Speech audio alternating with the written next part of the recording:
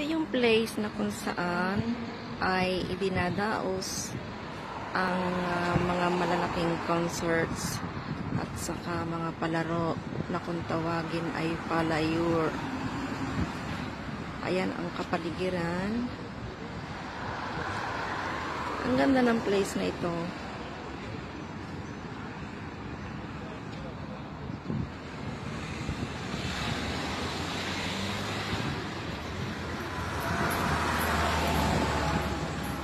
Tapos ito yung ah, bus terminal na kung tinatawag ay Kapulinya.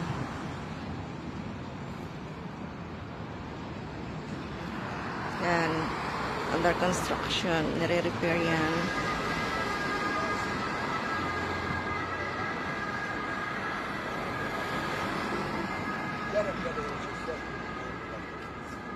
Katulad siya ng Araneta Coliseum. Dito, idinaos ang, ah, I think, uh, two years, two years ago or three years ago yung ah, ah, concert ng ASAP. Kung hindi ako nagkakamali. At ayan naman, ang Enel, building ng Enel Gas.